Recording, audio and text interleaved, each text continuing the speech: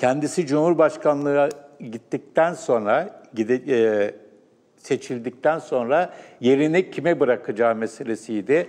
Orada tabii ki ilk akla gelen Abdullah Gül'dü ama Erdoğan buna yanaşmadı. Bunun yerine yer, e, kendi yerine Ahmet Davutoğlu'nu atadı. Tercihini Gül yerine Davutoğlu'ndan yana yaptı. Ardından bir süre sonra da Davutoğlu'nu tasfiye etti. O da ayrı bir husus.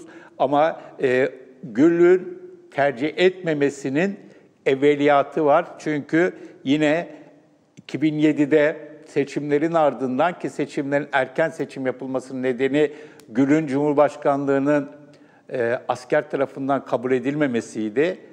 Erken seçimde daha büyük başarıyla çıkan AKP'nin yeniden Abdullah Gül'e aday göstermesini Erdoğan aslında istemedi. Bunu engellemek için bayağı bir çaba sarf etti.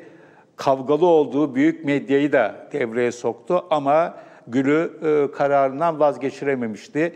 E, sonra Gül yerine Davutoğlu'nu tercih ederek e, tek adam yönetiminin güçlendirme yolunda çok ciddi bir adam adım attı.